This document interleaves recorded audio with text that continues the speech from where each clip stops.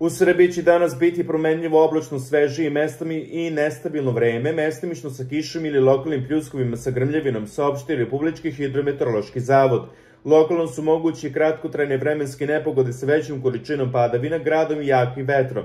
Vetar će biti slab do umeren, severni i severoistočni. Najniša temperatura biće od 16 do 20, a najviše dnevno od 25 na severu, do 32 stepena na jugu i jugoistoku. U Beogradu će biti promenljivo oblačno i nestamilno, povremeno sa kišom ili lokalnim pljuskovima sa grmljavinom.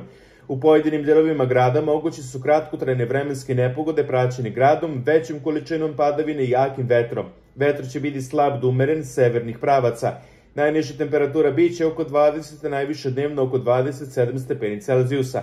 Očekivane biometeorološke prilike nepovoljno će uticati na osetljive osobe. Te gobe su moguće kod hroničnih bolesnika, posebno se asmatičarima i osobama sa povišenim krvnim pritiskom preporučuje da poslušaju savete lekara. Kod meteoropata će najizraženije biti reumatski bolovi i glavobolja. Upozorenje na vremenske nepogode. RHMZ izdaje upozorenje za područje Srbije na vremenske nepogode. Danas se lokalno očekuju obilne padavine gradu, u zoni pljuska jak vetar, upozora, upozorava RHMZ.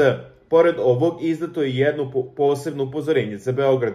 U pojedinim delovima grada moguće su kratkotrajne vremenske nepogode praćeni gradom, većim količinom padavine i jakim vetrom u zoni pljuska, navodi se na zvaničnom sajtu RHMZ. Upaljen meteo alarm. Zbog kiši grmljavine na celoj teritoriji Srbije na snazi je naranđasti meteo alarm, što znači da je vreme opasno. Prognozirane su opasne vremenske pojave, a takvog su intenzitete da mogu prouzrokovati materijalnu štetu i biti opasne po ljudi i životinje. Treba biti vrlo bazriv, svestan rizika i redovno informisan o detaljima očekivanih meteoroloških uslova.